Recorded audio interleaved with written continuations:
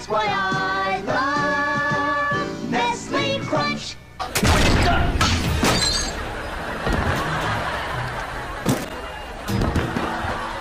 He's probably alright. Yeah. Get some wontons? Yeah, let's go.